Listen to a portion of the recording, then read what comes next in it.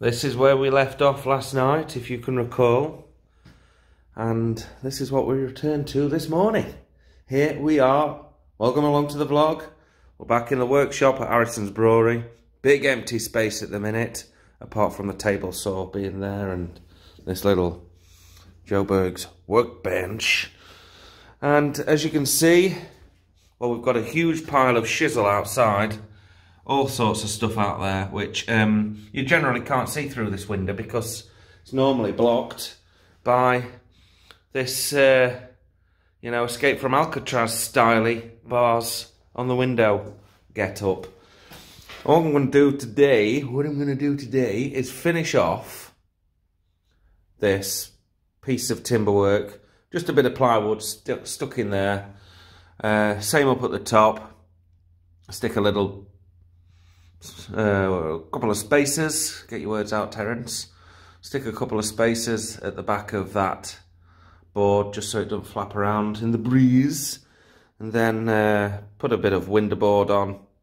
And Robert's your mother's brother that's done. Then we can paint that window before this monstrosity goes back on. It's very convenient though for hanging grinders off. Then I'll also be looking at some point at putting some type of curtain up on here, across to there, and then over to that wall somehow. So when I'm doing any grinding, I can pull the curtain around me. Someone suggested it on the comments yesterday, but I think uh, I already had it in mind. But you can have the glory if you like. You can have the glory. Uh, so yeah, we're going to do that, I think. Paint the wall, paint the door, paint everything apart from this wall and this wall. We're going to keep those two walls as they are. Hopefully they won't look too bad when everything else is back in. And I'm also inclined to start painting the rafters at some point, but it's definitely one of those jobs that I'm only going to do when I've got time to do it. It's going to be like one of those jobs that is going to be a labour of love and definitely not a necessity. So if we open back up again or I need to brew, then this is all going to go back onto the back burner while we continue with more pressing issues. But at the moment, there are breweries in the UK tipping beer down the drain because the government have closed the pubs. Now, I've just been to Toolstation to pick up this paint, and uh, they've got a one in, well, two members of the public in the branch at any one time, but they're pretty good up there. So I didn't come into contact with anybody realistically, and I was masked up in the shop. But on the way back, driving through town, because our Toolstation's at the other side of Retford, uh, I came through the market square in the car. It was rammed. It was absolutely rammed. Pubs aren't the problem. Pubs never were the problem. But hey ho, what do you do? Just crack on and get on with it. There's nothing we can do. I do hope, though, that in the future, once this pandemic is over, that we're offered an explanation or somebody is held accountable to all these businesses that are folding due to a very badly managed pandemic on the part of the UK government. And I'm talking the people who are in power you know, the sitting government, the Tory party, effectively. The Conservatives are not handling this very well at all. There we go, rant over. So let's carry on with the renovations of Harrison's Brewery's workshop. What we are going to do today, though, ladies and gentlemen, is we're going to sneak in a couple of cheeky beers uh, while we're at work. Yes, why not? Gemma's going to pick me up this evening and I'm going to crack open a few dirty cans. Uh, not many though, not many. And I've got a bottle of gin as well, which I can tuck into. It is Saturday after all, so I thought, wouldn't it be nice if I just had a little bit of a drink and painted the workshop? I think it'd uh, it'd make the afternoon pass a little bit more pleasurably. I think Sam's going to come down as well, partake in a couple maybe. We might even do an ad hoc beer review, but no promises. Right then, boys and girls, we are three days, four days later from the weekend. Sunday I didn't do anything because I was hung over, massively hung over. And uh, Monday and Tuesday, we've been busy putting everything back into the workshop. Today's Wednesday. We've almost broke the back of it. So let's flip the camera. I'll show you around what we've done. And then we'll wrap up the vlog. So we've still got a huge amount of uh, junk knocking around. But what we have done is we managed to make a little bit of space here by getting rid of one of these tool cabinets this is just a bit of packaging that needs to get rid of. I need to sort through these bits on the floor.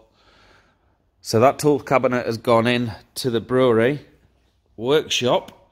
And uh, we've got most of the stuff that we brought out back in now. Just a few dribs and drabs that I need to sort through, sort out, and eventually put back in. And yes, this is the new look workshop so far. So we've kept this little screw chest, screw drawer, if you like, in the corner there. That seems to be ideal, actually. Put a few shelves up there for the welding helmets. We've managed to get uh, base, as you saw with Sam the other day, on the bottom of the table saw. And that's given us loads of free space. I managed to free up the space under here. So we're going to stick, obviously, some well, like the SDS can go in there for a start. Here we have the SDS sat now on the welding bench with the welder and the plasma cutter accessible. I'll just give you a quick pan around the whole workshop.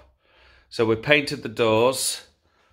This you'll recognise as the tool cabinet, but again, that's had a quick coat of gloss to tart it up a little bit. So we've got some open shelves there. Uh, the welder or the MIG, that's there with the two argon and uh, what's it called? Argoshield. Uh, I think gases for the for the welder. We painted the door. Still a little bit of junk down here. Forgot to find somewhere for the compressor to live, but I think we'll be able to utch these cabinets across. They're all on wheels now.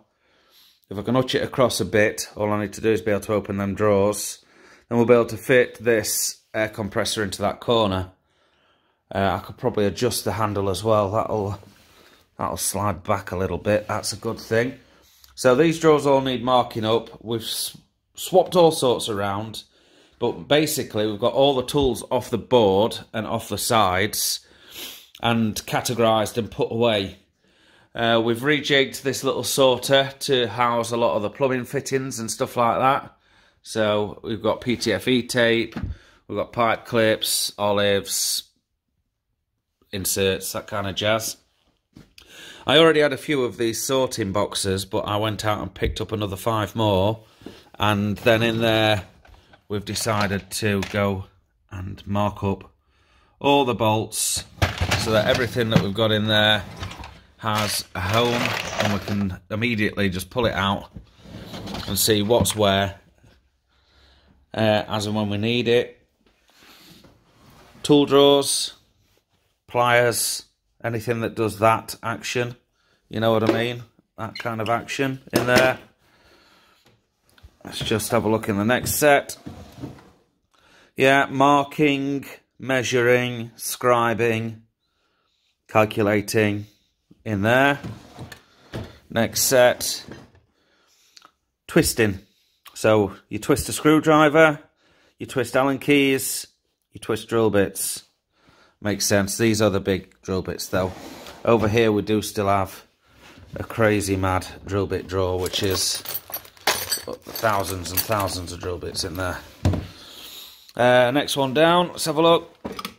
There we go, cutting things. So you cut with chisels, you cut with Stanley knives, you cut with saw blades. You don't really cut with files, but you kind of do in a some sort of way.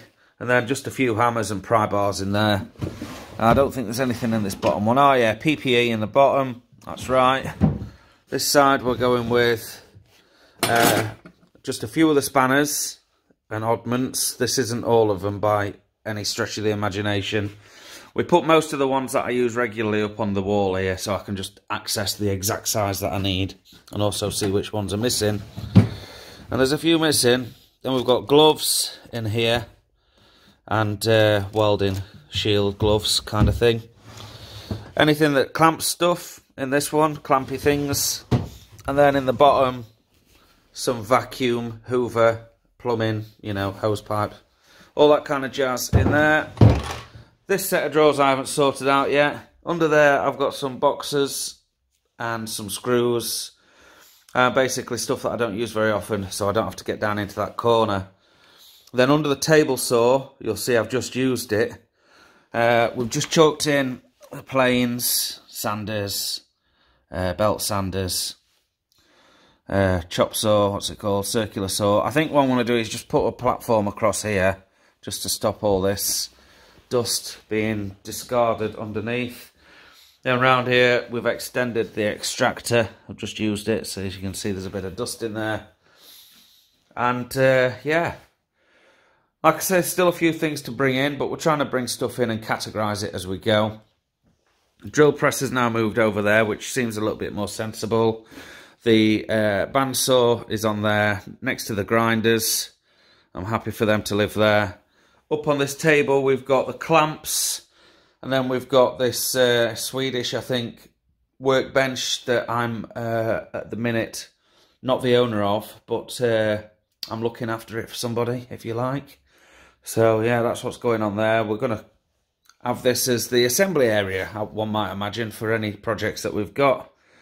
And then over here, eventually, where the welding area is, I want to have a curtain up on the ceiling that I can pull across and basically pull all the way across to here and completely split the workshop into two so that when I'm doing any grinding and anything like that all the grinding dust doesn't end up across here. But I suppose it's not a massive issue now because we've got rid of those massive open shelves. So I suppose if I just put some sliding doors on these cabinets under the table and maybe just a couple of doors on those there, it ain't really going to be an issue if we get dust anywhere. Just a case of getting the vac out and just vacuuming the surfaces. But there we go. The new workshop or the redesigned workshop. So it might not look like I've done a lot on the face of it. I'd really love to board the ceiling. That's something that we talked about. Don't know whether I'm going to do it. But yeah, like I say, it doesn't look like much on the face of it, but what has happened in here is categorization of tools. So once I've got everything marked up and I memorize, I've got to readjust my memory now as to where the new house for everything is, then it should be sensible and easy for me to access and work. I mean, I've not shown you in half of the drawers. Like, drill bits, wood turning chisels, Forstner bits, you know. Pretty much every single drawer set has got something in. Tap and dies. Um, socket sets.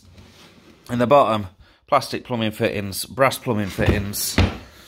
And over here, we've got torches, glue gun, pens, markers, anything that you use to scribe with.